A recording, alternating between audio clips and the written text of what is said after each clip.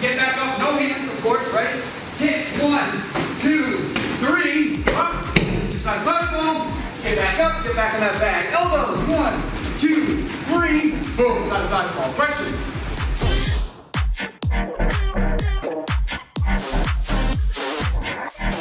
That jab sets us up in the cross because it turns our body and twists so we're ready to come with that cross and power.